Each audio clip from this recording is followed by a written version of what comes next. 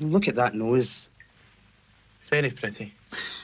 Some of the guys reckon that she's too much like that boy. Nah. She's just modern.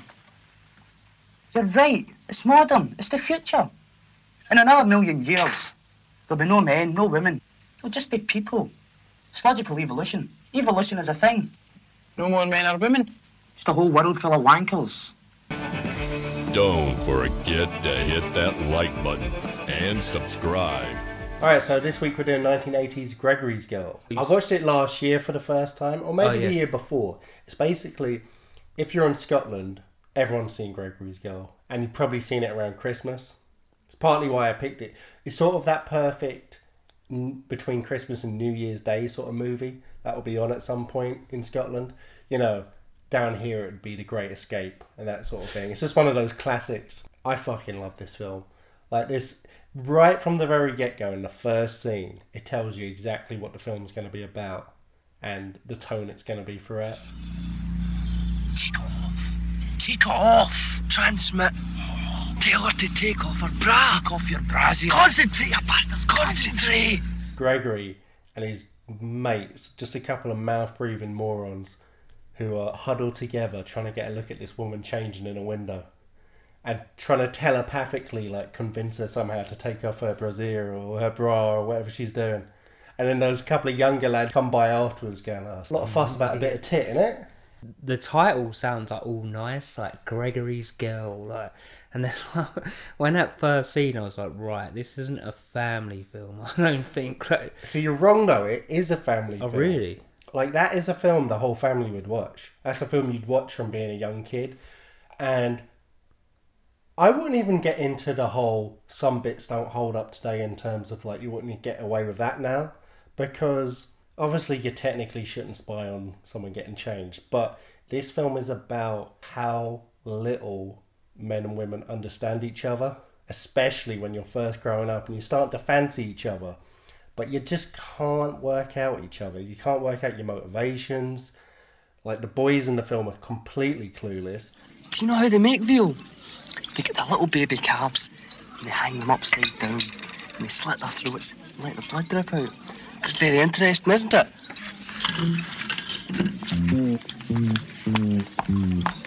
The girls are more mature as kind of emotionally intelligent girls tend to be around those ages. But they're equally as baffled by just men. Like they don't get it. They don't get each other. Look at all these men. Boys. What's the difference? Call me Quickstop. and that's the whole thing that's running the whole way through it. And that's kind of other than the fact that Gregory's such a plonker, that's the whole gag of the whole film. It's basically, the plot is horny teenagers in high school try to fuck. that that's it. Just Yeah, that is the sums up- basis of the whole film because after the opening scene, we see him going into school and his coach of his football team's having a go at him. And he's basically saying he's uh, going to take him off striker. Another great character, the coach, you know, he's, he's sort of like. He, his team is terrible. They've lost eight in a row, apparently. Hmm. Every, all the other teachers are making fun of him. Who is it? That daft boy in fourth year. The one that's in your football team. Oh, I heard they were awarded a corner last week and took a lap of honour. oh, him. He looks really young and he's trying to grow a mustache to look older, but like all the other teachers are making fun of him for it. I just love when he's going at Gregory about how like everyone's laughing at us out there, and he's Gregory goes, Football is all about entertainment. Give them a good laugh. It's only a game. It's only a game. Yeah, yeah. Uh, to be fair, like a couple of times in this film, I got kind of like paedophile vibes about the teachers. So I was like, "Oh, they like every male, over, Yeah. like every adult male in this is a complete pedo." there, there was one scene in the staff room where they're like, I'm not gonna bother to do a Scottish accent, where where they're like discussing some ginger student, and they're like, he even turns around and says, "You'll get done for that," and I'm like, oh god. Are you still getting those poems from Jude? Oh, come on. You know, it's no right to ask these sort of questions. We are dealing with the emotions of a vulnerable, sensitive, 16 year old redhead. But it's the It's way, like, I don't know if they were actually doing anything or if they were just liking the attention. But the way he, he topped it off with Redhead was fucking Mm. grim, man. There was something so horrible about that. But also, you have the workmen, wolf whistling the schoolgirls. Mm. But again, it's kind of done in that way where everyone's laughing and joking about it. Yeah. Like the girls are kind of rolling their eyes, and Gregory's just cracking up as he sees it, and then they head into school. And at one point, one of the lads who's obviously left school early and got a job as a window cleaner comes back to Clean he's window, cleaning the windows of the school. But he obviously he used to be in their class, so the teacher opens the window and she's chatting to him through the window, and she absolute she badly wants to fuck him. Yeah. she is all over him. That that scene sticks in my head it's because, well, he obviously seemed like a good student because the teacher was like, "Why don't you just come back? I don't back?" think he was a good student. I think he was a good lad. yeah, yeah. Well, why don't you come back and like visit me? And, and like, yeah. And I was like, "What is going Oh, on?" she wanted him back. Yeah, yeah. I love when he does a he, he wipe uh, he cleans her glasses for her as well. Yeah, it's like, I hope you're doing mine for free, Billy. Well, for old time's sake. Give us your glasses and I'll do them as well. No charge. Thank you. Listen, why don't you come up and see me sometime? I'll do that. I'll use the stairs though. I'll do it free of charge for you. um, but that kind of sums up that whole wolf whistle thing.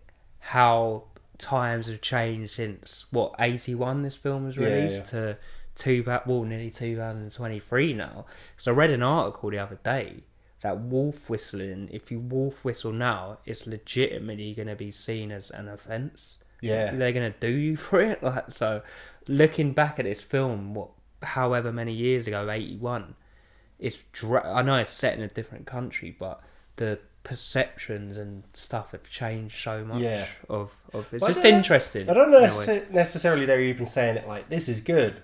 It was more just poking fun at it, pointing it out, and then having you know the let's be real, like every male character in this film is portrayed as a complete bumbling fucking idiot. Yeah, hundred percent. And every female character is at worst charmingly dopey. No one like all the all the female characters are fully switched on. They're the straight men in terms of like the comedy act sort of setup of it. The guys are all complete fucking idiots.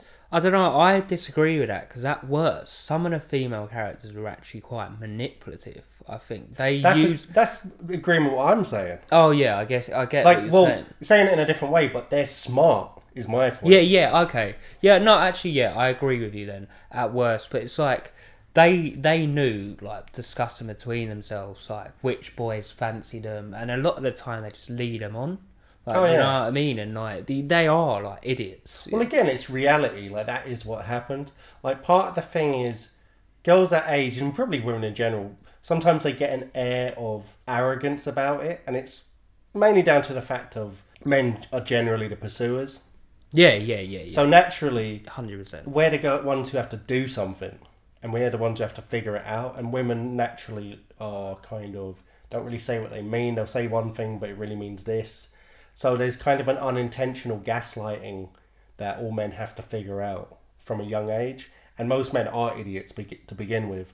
So Oh, yeah. it's really really confusing, and you do end up looking like an idiot. So naturally, they kind of get an air of like, oh, they're so clueless. If, it, if the shoe was on the other foot, true. we would It's feel the same way about them. It's just the way the cookie crumbles.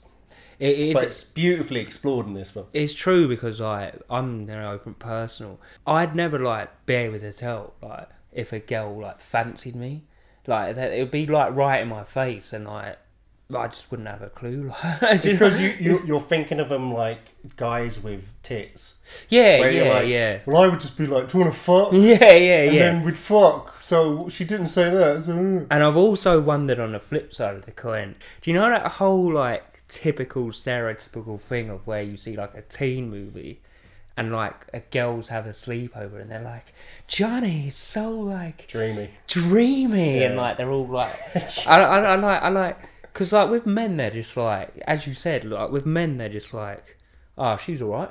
Do you know what I mean? Do they actually Well, we like don't- discuss that between themselves? yeah, men don't really discuss. Like most men don't even discuss girls are sleeping with. Like generally, if like a guy brings like you'll ask your friend as a courtesy to be polite how's their girlfriend's getting on, but you don't care. And if they just start talking, yeah, about it for no reason, you just look at him like, "What the fuck?" Are you Yeah, doing that yeah, for? You're a yeah, yeah. dickhead. Like, don't talk about yeah, that. exactly. Yeah, yeah. And it's not even in a chauvinistic way. It's just a lot of things it's about motivation. Like no one, like the fact that women talk about men a lot, they clearly enjoy it and want to for whatever reason. Yeah, even when no. they're talking about them in a bad light.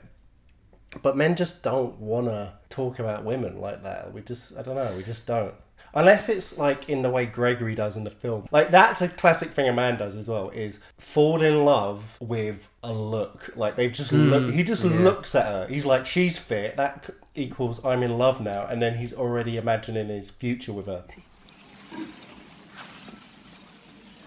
Have you ever been in love?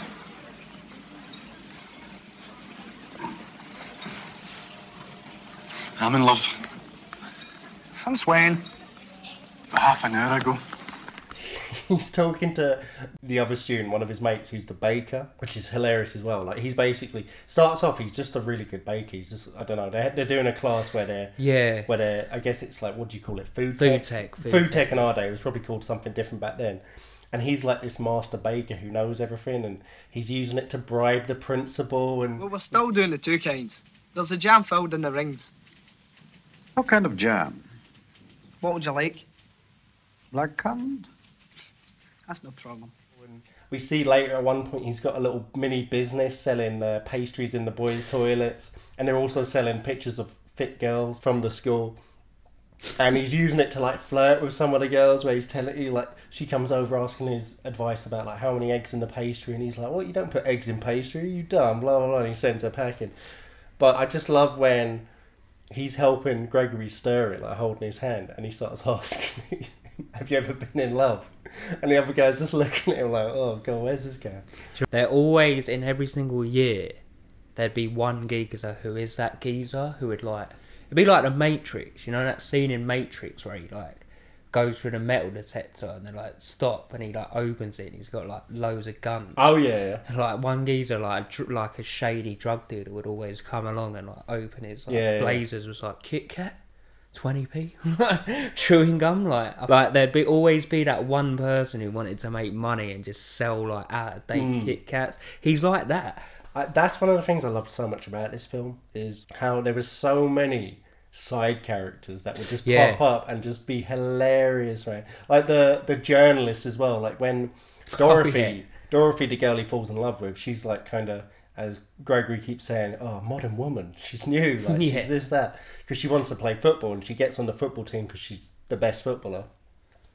Speaking of paedophilia as well, did you get a slight vibe from her and the coach? Yeah, We'll get to that later yeah, because we'll that comes up that. more later. But there's definitely something going on there as well. But she joins the football team, and I love the scene where he finally has his first real conversation with her when she comes in for a plaster after a game. Oh yeah, and they're chatting away, and, it, and it's kind of like a pasty, shitty Scottish version of that scene from Jaws where they're uh, comparing each other's scars. You know. See that? I was only three when that happened. I hurt my arm once. Can't get it any higher than this. Used to be able to get away up here. You just did. Nah, it's this arm. It's stuck. You know where they're going through their injuries. She's proper like he's proper like zooming in. And, uh, and, I was like, and then "Ooh." he, he leans in. He leans in to look at her scar on her elbow, but then goes up vertically, so his head's still like an inch away from her, and then he just won't back off. But she at that point was kind of like it felt like she was liking him a bit, and they get talking about Yeah. Italy and Bella Bella means pretty Oh, in Italian yeah, and all that. it's cringy. And I just love where it is such the things you do at that age, and some people do late at later ages because they never figure it out. But um, I wasn't a dig at you. No, no, That's all right, no, no, no, I didn't. No, I didn't mean it like that. Oh, okay. But that is, yeah, that is Yeah. like me. But it's such a funny thing where then he thinks she mentions Italian once, so he immediately thinks, "Oh, I'll learn Italian, Hmm. and then she'll love me." Or I'll just like compliment everything she does. And also, it's like that thing you do as a kid where you're like, "I'm in love with her." You keep building it up in her head. He has one conversation with her, two by the end of the whole movie. I guess three, but his obsession. 50% comes before he even has a conversation with her, and then 50% is after. But it just, you know, he never actually gets to know her, or what she likes, or what she's into, or what kind of person she is. It's not right. It's unnatural. Doesn't even look nice. It's modern, Andy. It's good. Modern girls, modern boys. It's tremendous. Look. Nah, uh, the reason I was laughing because I saw a lot of myself in Gregory. Sadly, Yeah. actually, I don't think that's that. I think Gregory's an absolute. He's a fucking- sweetheart. He's a bumbling idiot. Yeah. but everyone is at that age. He's a Uh, fucking legend. I love him. I, I kind of had that similar experience where she comes into the Yeah. changing room when we went. I think we went on holiday to Krakow. We're staying in a hostel. I went into the shitty like showers. Oh, right. you know, Communal I- showers in Yeah, a hostel, and I didn't realize they were communal. And I was just there, like in my towel. With your tackle out. No, no, no. and you know, I, I'm quite, to be fair, I'm quite self conscious about stuff like that. I don't like it.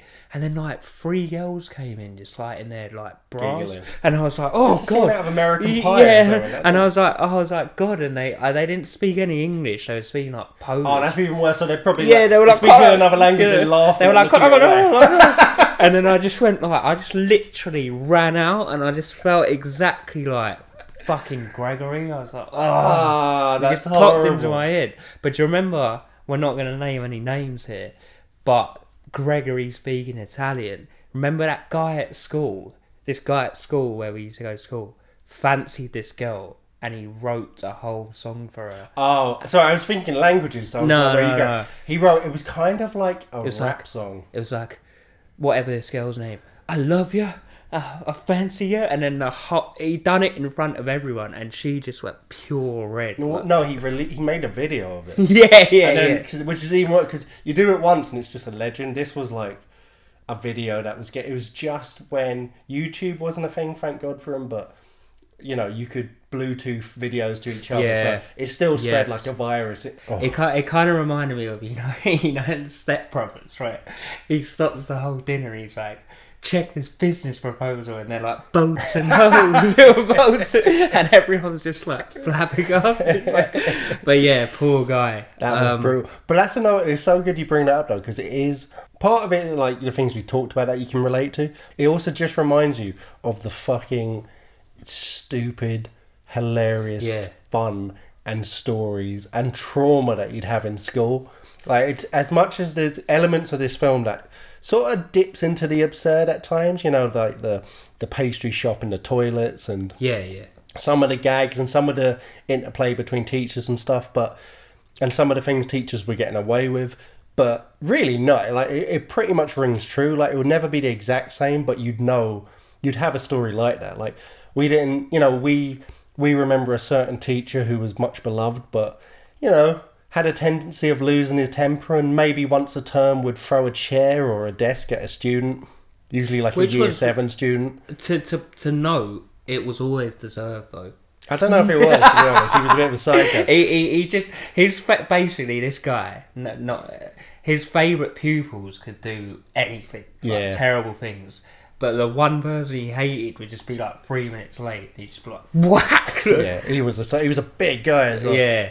or Um, you'd have you know other te- like there was always other teachers that were doing little like side hustles and like scamming things for insurance from the school Yeah. or or Yeah, just yeah, yeah. fucking over or just you know being a little creepy with the girls but you don't think about it at the time you think about it more years later and schools were just clusterfucks like it's probably way better nowadays it's probably way probably way better just because it's you can't get away with shit This this film was interesting because obviously it's old. It was made in the eighties, but it kind of got me thinking about like the comparisons of our school, as you said. Like I guess for us, like one of our main things of of talking to girls, you never actually do it in person, but you'd rush home to log on to fucking Microsoft Messenger and be like. "Dulut, dulut," like- That's where you first learnt emojis and shit. Yeah. But I loved as well that two of the friends, you know, the the two complete plonkers who were always trying to figure out like how how are they going to get girls and how are they going to talk to girls. Yeah. He's always say, he would say like, you know, uh, fourteen thousand tons of cornflakes Oh, yeah, yeah. pass under this bridge every single day. It's a well known fact, and everything's just a well known fact. And going up to girls and trying to use it, and like you talking about like how quickly snot comes out when you sneeze. And, Like, do you know that at least 12 tons of cornflakes passes under here every day? Really? It's a well-known fact. Oh, gee, is that? I think it was them two idiots. Yeah. They were discussing between themselves, like next to like a couple getting with each other.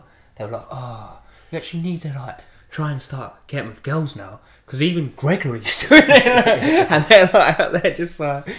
And you do think like you do look sometimes because with the human nature, it's always never like look at yourself to like sort it out. It's always comparison. Like, Mm. well, he's doing it, so I need to like sort it out. Do you know what I mean? Well, it's that thing of it's a giant jigsaw. Like it's just a big puzzle at that age.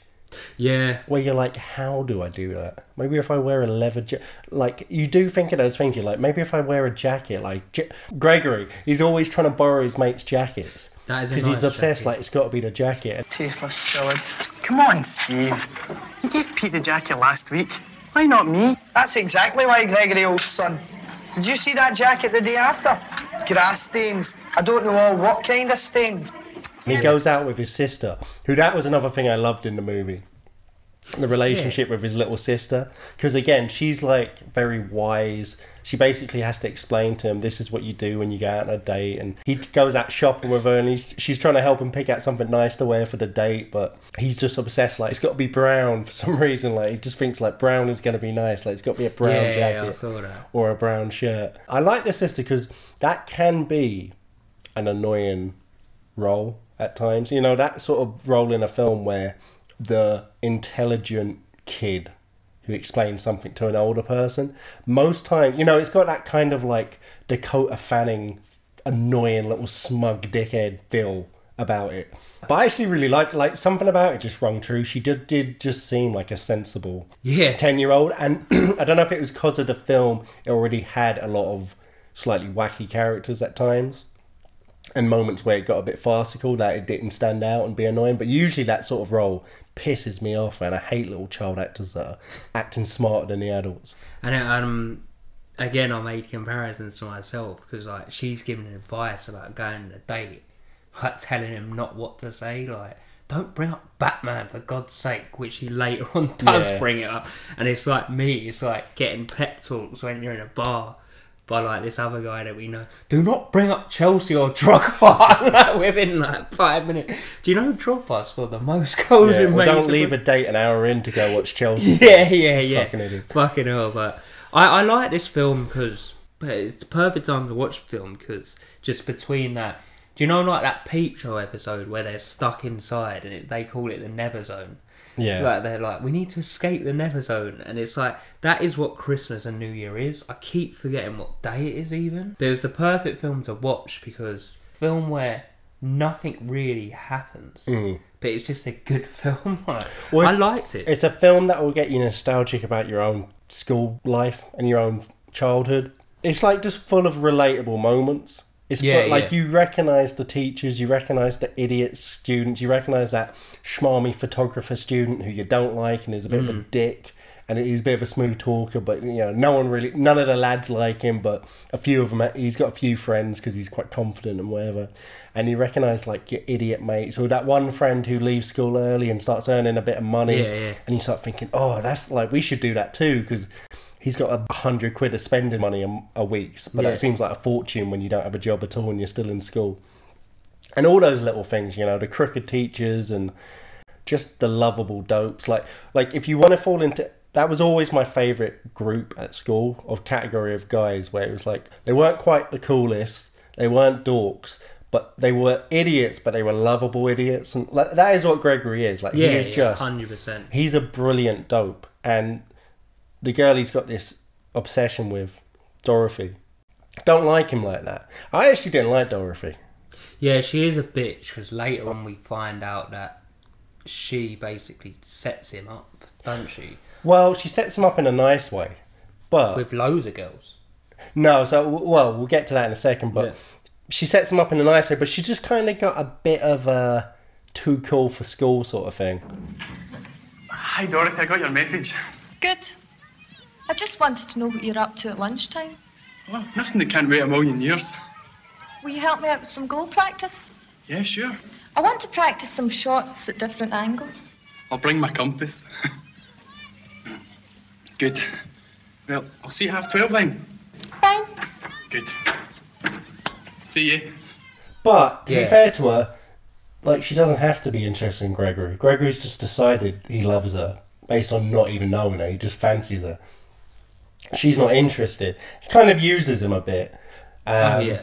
Uh, plays him on a bit, you know, uses him for goal practice. That was out of order. But I also think the conspiring that goes on that builds up to the finale had already been in play at that point because you start to notice this character Susan who is friends with Dorothy and they you know they're in the lab in the science room one day in during science class and they're doing like a little experiment and Susan starts asking about Gregory and you can tell already oh she must fancy him. It plants the first seeds of it and they go out. And I like that shot where all the girls are looking over the playground of boys and they're having a moment where they're just saying like what are boys like? I just don't understand boys. Look at them all. And I just love it because it, it just you just see they're all like wrestling and falling over each other. And and that is the difference where we'll never understand why women don't understand how funny that is and how much fun that is and we'll they'll never understand how they can think that's fun And Paul Gregory is literally the worst goalie I've ever seen in my life. Like, like he's not even constant. I don't. Dorothy just asked him because he's put in goal because he, he's a shit striker, and the paedophile PE teacher puts him there. Yeah. Like, we're not fucking throw you there. I think. Do you think he just because he doesn't have the heart to throw him out completely Yeah, yet? yeah, yeah. So he's like, okay, I'll put him in goalie for a week. I'll put him as the goalie for a week, and then after that, we'll kick him Yeah, out. I think he generally does like Gregory Because he hides from him at one point when he comes yeah. back in, and I think it's when he's supposed to be telling him that he's off the team. But maybe maybe Declan he is a good goalie, but th- now that Dorothy has come along in the team, he just doesn't concentrate on what's going on. He's just looking at what Dorothy does the whole time. So he's like, oh. I didn't even. He was in. It's in a match. He's like, oh, I lost sight of the ball for one second. Actually, a microsecond, and it went in. But he wasn't even concentrating because he was looking at Dorothy. I think it's a bit of that, but a bit Both. he is just a fucking. He is He's not. an- he's an oaf. He's not coordinated, is he? He's not No, like no, a, a natural athlete. Yeah, he's yeah. a lanky streak of piss, like Yeah. complete with a big barnet on top and just an absolute muppet. Took my eye off the ball for a split second. Two microseconds. We need more women in this team. More. What a prick. It's actually really sad because the the goalie thing was bang out of order because he's crap in goal. She's actually Dorothy's actually good at football, Mm. by the way. She's just banging in shots left, right, and centre.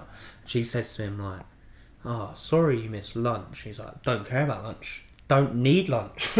I'm I'm I'm a maverick. I'm a psycho. Yeah. And then like he's just wasted his whole break on account of her to just get led on, which I found quite sad. It was, In a- but it depends how you take it. Like in the spirit of the film, it's not because she says to him at the end of it. She basically leads him into asking her out, Yeah, yeah. or he finally gets the guts to ask her out, and she says yes straight away, very nonchalantly, and he's kind of shocked. They set a time, and, and she walks off, and he kind of like follows her back into the room. He's Yeah. like, just checking. It, it Yeah, actually yeah. is tonight, and it actually is at he's this not, time. yeah? He's not kind of shocked. He's like, "Are you joking?" Yeah, you can't believe Yeah, it. It's how good is the performance as well? Like Yeah, Gregory yeah. is so he's just so believable as that dumbass. Like you, you one hundred percent believe him and love him. So he, he checks with her and he's like, okay, and then he goes home and he borrows the f- nice jacket and he cleans the stain off or he hides it and then he shows up for the date. He's waiting there for ages and no one comes by and then eventually one of Dorothy's other friends shows up and just sort of says to him, "Oh, she's not showing up." He's got that like slight twinge in his face where you're trying to hide the fact that you're absolutely heartbroken and embarrassed. And just he's just so nice about it. He's like, "Oh well, thanks for telling me. I guess I'll just go home." And this this bit really was great because the way they built it in to sum up Gregory. He goes to leave, and he's like, he at the door, which is locked, and he's like, "Ah." It's the other way. Bless him. Like he just can't do anything right. and she uh, she just doesn't let him leave. She's like, "No, you may as well walk me to get some chips." And he's like, "Oh, okay." And she basically talks him into, "You're going to buy me chips." And he's like, Mm. "Don't really want to, but okay." And then she just she keeps like being like nearly like like a drunken idiot, like trying to just like point them in the in the direction of the chip shop and saying, "No, no, we're going this way." They're headed to the chip shop, and I love that as as they're on their way there. But they stop by a phone box, and she sneaks in there, and again, not explaining anything to him. She's just kind of like, she's just gesturing, like, hide by the window, hide, block the window up. So he stands there all confused still. And she gets changed into her, like, she puts a bit of lippy on and puts on some awful crop top and ready for a date. And he's at this point embarrassed because he's thinking, oh, I don't fancy you and I don't want to be on a date with you. And she's saying, no, no, I've got another, you know, I'm not, this isn't for you. I've got another date tonight. And it turns out she does have another date because she kind of hands her off to another friend who's, Yeah. who's chatting to him. And you can see he's really confused at this point. And the two mates who are always telling the facts and trying to talk to girls are seeing him with chatting up two girls on the one Yeah, night. yeah, yeah. So they're kind of like in awe, like, how's he doing this? But then she hands Gregory off to another girl, Susan. Who's nice. Who's nice, who's lovely. And finally, we realise this was their little plot to get him on a date with Susan. Because Susan actually does fancy him. She's got a nice little beret on, she's there, you know. She even fancies him and likes him when he's, for some reason, calling out like a cat into the night a few nights Yeah, before yeah. when she's in, sitting in bed reading and she can just hear him like with his head out Yeah, the window making dying cat noises all night.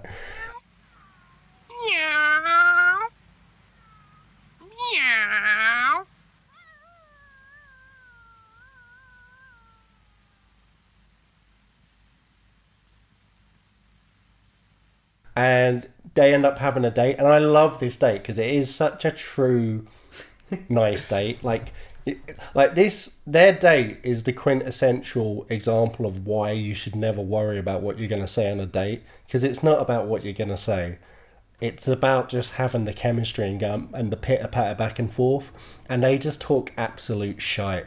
They at one point they're just saying numbers to each other back and forth Yeah. or just saying nonsensical facts. And they love it because the chemistry's there and it doesn't really matter beyond that point. They're just enjoying each other. She's already made up her mind. She fancies him so it's all golden. And i just love the fact that he doesn't even really care or seem to remember or notice at this point that he's obviously been tricked the whole time. He's just like oh someone fancies me.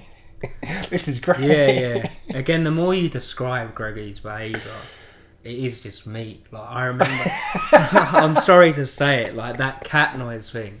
what i didn't think you were going to say that You not heard this story? no Basically, obviously, I work in HR, so I'd done that Oh, HR okay, qualification. yeah. And all and because a mixture between the pandemic, it was during the pandemic, so we had to do it on Zoom, and like the most embarrassing thing ever, like it. That was like, oh, everyone's like lunch, like see you in like blah blah blah, five minutes or whatever, or half an hour. So I had thought I'd turn my camera off, but I forgot I forgot to mute the microphone, and my cat was on my bed, and I started like stroking it, making it. Oh, obviously you know about the weird noises when I like squeeze. Nah, go, you gotta make some. And I just started going. "Mm." Oh, that is so embarrassing. Everyone could hear it, and I've done it. How long were you going on for? I've done it for a good like minute. Oh my god! And And, then, you were definitely talking to it in like a cute yeah, voice. and then stuff. like I checked my phone, and my mate from work, Matt, who was also in my cohort, was like, "Phil, mute your mic." in big, Wait, just be glad you didn't start having a wank. in uh, big question marks, in big exclamation marks. And then I got back from lunch and was like, the teacher was quite a funny guy, like, and there was a couple nice girls in this, like, and they were all like giggling, and I was like, I was like a like all sheepish, like looking around, like someone's gonna say something, and my t- my tutor was like. Well, we all want what Phil had for lunch with all those noises, Oh and I was like, God. "I am Gregory, for fuck's sake." At least it wasn't work. Yeah, at least I weren't on camera as well because it That would is it would have been the back of my head just going. Do you know what I mean? So, yeah. But going back to Gregory, so in the end, Gregory does kind of win. Oh, in oh, a- he absolutely way, wins. Yeah, He completely wins. He gets a girl that likes him. and he He has a nice little kiss by the doorstep. I like Yeah. that she walked him home as well. yeah. He goes back to his. I think he's just kind of like a mate. He is one of He's those guys. mate. We all know a guy that kind of needs a woman to come along and just be like, go that way, stand over. No, do this. No, you're getting it wrong again. Do that. and he just, yeah. he just, you need more than that. Yeah. He just needs that, and it, it's good for him. It's not going to be like a nagging wife who's horrible to him. Like they need that dynamic. It's gonna suit them. They might not go out forever. They might get married and fucking stay together forever. But it's not the point. It's just we leave it there. Gregory goes off to bed, and he has that nice little chat with his little sister about it afterwards. And she asks, "Oh, is she gonna be your girl?" And he's like, "You're my girl." And we learn Gregory's girl in the film is his sister. It's not even talking about his girlfriend or anything Yeah. time. But yeah, in the end, Gregory does win, and I and I hope that he continues that relationship. Yeah. After, we'll never know because there's not a Gregory's girl number. There two. is. Oh. It's Gregory's girls. And it's when he's 20 years later when he's got um, a daughter. He's married. Yeah. So, and which I've never seen as well, so I definitely All want check we'll do that. it. We'll do it.